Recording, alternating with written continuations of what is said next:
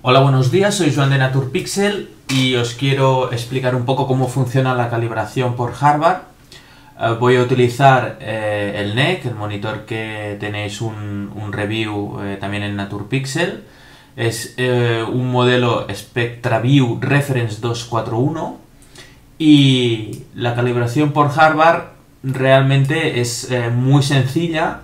Utilizaremos un software que nos suministra el mismo fabricante una vez instalado, pues eh, veréis que ya nos está indicando que la calibración se va a realizar por Harvard y simplemente vamos a tener una serie de ajustes. Mm, podemos utilizar la manera más sencilla, que es eh, seleccionar dentro de ajustes calibración y vemos que hay una serie de, ajustes preestablecidos y hay uno que es eh, especialmente diseñado para fotografía.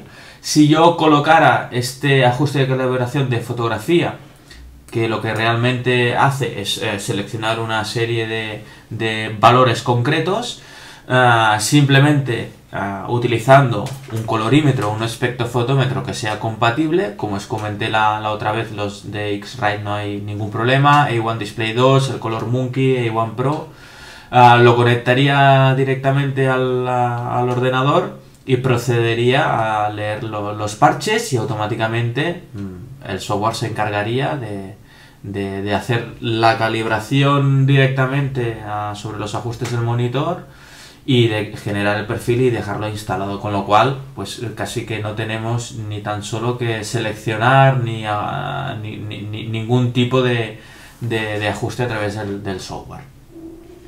Si eh, a raíz de un ajuste de estos preestablecidos queremos hacer un ajuste que sea personal, simplemente eh, podremos entrar y empezar a modificar dentro de los diferentes apartados eh, los valores que creamos que queremos modificar. en el caso del ajuste de fotografía nos está seleccionando una luz DIA-C estándar de D50 y en otros softwares es más habitual el D65, pues simplemente vendría aquí, seleccionaría D65 y eh, habría eh, eh, realizado un ajuste personal. A partir del, modelo de fotografía habría incluido esta, esta variación.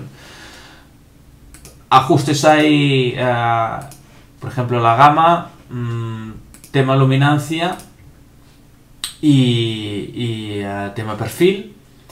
Pero realmente, como os digo, mm, utilizando el ajuste de calibración de fotografía, en mi caso lo varié a punto blanco de 65, procedería ya a, realizar el, perfil. Daríamos a siguiente, eh, aquí nos está eh, recordando todos los ajustes que hemos, eh, hemos seleccionado y cuando llegamos al final nos va a pedir que Ah, coloquemos un nombre al perfil. El nombre del perfil pues tiene que ser un nombre que al menos ah, va bien colocar una fecha para que sepamos que es realmente el perfil que nos interesa y que es el último que hemos realizado porque se nos va a acumular cuando vayamos a las propiedades de pantalla se nos va a ir acumulando una serie de perfiles al menos saber ah, cuál es el, último que hemos realizado cuando le damos a iniciar lo único que nos va a pedir es que coloquemos el instrumento en medio del parche.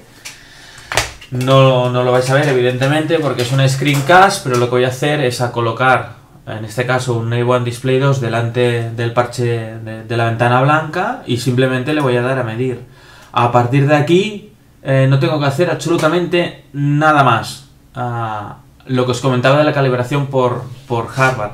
No tenemos que entrar en el menú del monitor ir ajustando brillos, contrastes, eh, los diferentes canales. Todo esto se realiza internamente y lo único que tenemos que hacer es esperar a que el programa concluya y nos diga que, que el perfil está creado e instalado. A posteriori de esto, el software nos permite hacer una verificación de este perfil.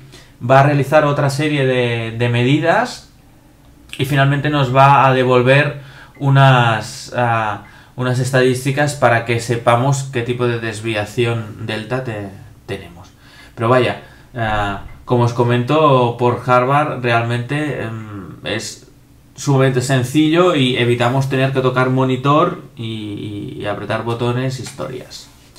Pues nada más, eh, como veis van pasando los parches, mm, realmente pues el software mm, tira bastantes parches, con lo cual eh, interesante. Y, ya está, simplemente esperaríamos, el programa acabaría y nos, nos diría que está instalado y funcionando. Y la opción, como os digo, de verificar. Eso es todo, muchas gracias.